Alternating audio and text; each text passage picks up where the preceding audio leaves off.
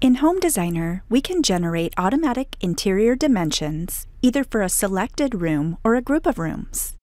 In this video, we will discuss how dimension defaults affect automatic dimensions, specifically interior dimensions, how to generate automatic interior dimensions using the dedicated Edit tool, and how to edit individual dimension lines after they have been created.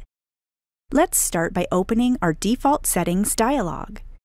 This can be done by navigating to Edit, Default Settings from the menu, or by clicking on the wrench icon located in the toolbar.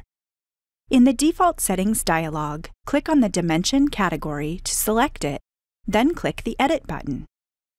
In Home Designer Architectural and Home Designer Suite, the Locate settings on the Setup panel apply to manual and exterior dimensions only. Automatic interior dimensions will always reference the interior wall surface when created. The settings located on the Format, Arrow, and Text Style panels apply to all dimensions, including automatic interior dimensions. In Home Designer Pro, you may notice that separate settings can be specified for automatic interior, exterior, and the various types of manual dimensions. For now, we will simply click OK without making any changes then click Done to close out of the default settings window. Let's go ahead and generate automatic interior dimensions in this plan that we have open.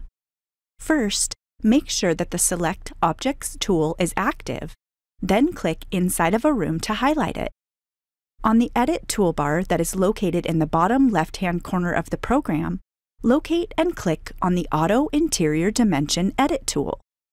Notice that interior dimension lines have populated for the selected room. You can perform this process on as many rooms as you would like, and can even group select multiple rooms and generate automatic dimensions for them all at once.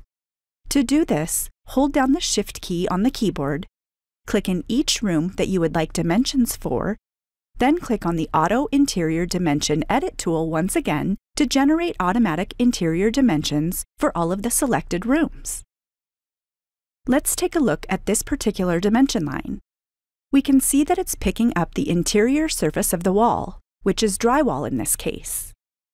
The program will always draw the dimensions offset from the wall. But once they're drawn, we're free to move them, and we're free to edit them. For example, we may want to locate both sides of this opening. To do this, we can use the Add Extension Line Edit handle. This is a diamond-shaped handle that appears next to the square Move Edit handle when a dimension line is selected. Left-click and drag the diamond-shaped handle and move it to one side of the opening. Notice how the dimension line updates. You can create as many extensions as you'd like using this process. We can also move extensions. Let's move one of the side extensions to the center of the opening. To remove extensions, drag the diamond handle associated with an extension away from the object it's locating, then release the left mouse button. Like other objects in Home Designer, dimensions can be deleted by selecting them and either clicking on the Delete Edit tool or selecting the Delete key on your keyboard. You can see just how quick and easy it is to generate automatic dimensions in Home Designer and edit them further to your liking.